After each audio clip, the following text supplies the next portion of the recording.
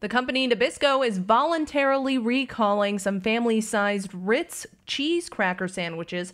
The problem is they're labeled to contain cheese but actually have peanut butter. You can see the UPC code and best if used by dates on your screen. Right now, there are not any reports of any injury or illness.